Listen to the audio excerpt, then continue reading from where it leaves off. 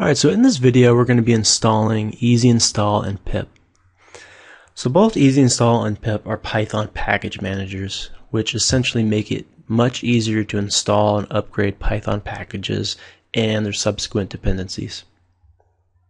So to download Easy Install, you want to go to the Python package index, and the URL is here, and I'll have this URL in the video's description. Go and scroll down on the page and you can see all the files here. And you need to download setup tools, which includes easy install. So for Windows, you want to download the executable file. And for Unix operating systems such as Mac or Linux, you want to grab the Python package egg.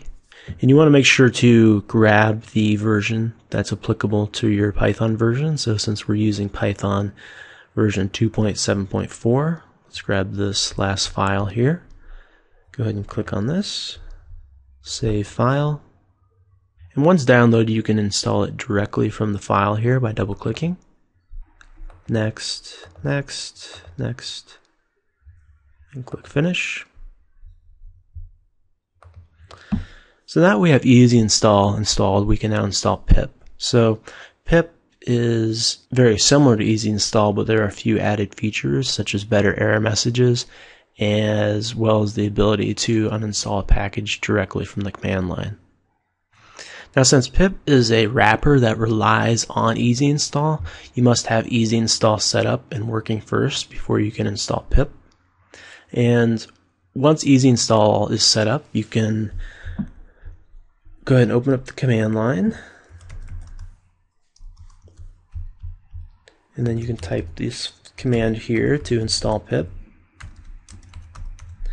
Now since I already have pip installed, I'm not going to go through this, but all you'd have to do is push enter at this point and install pip.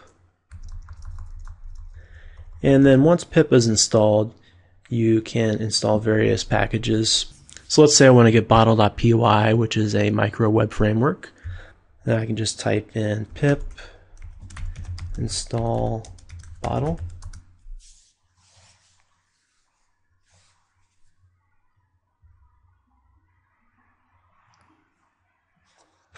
And so that went ahead and installed bottle for me. So now I can import it and use it in my programs. So I can just show you that real quick.